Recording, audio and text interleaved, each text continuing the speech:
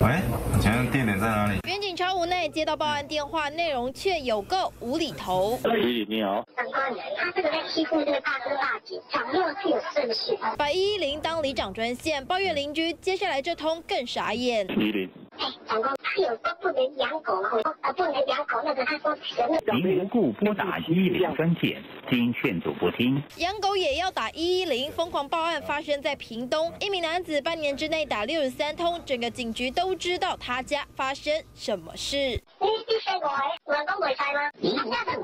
一零专线经劝阻不听。远景实在受不了，公布录音档，依社会秩序维护法函送地方法院。一直骚扰就会影响到民众要打进来。看内容都不清楚、不具体，这么频繁都是这种情况，警察就移送过来。法官斟酌之后，罚了三千块。屏东这名报案男子被处三千元罚款，不管是报警讨拍还是故意恶作剧，警方只希望罚了三千，让他收敛，别再恶搞一一零。记者张春华、林义荣，屏东报道。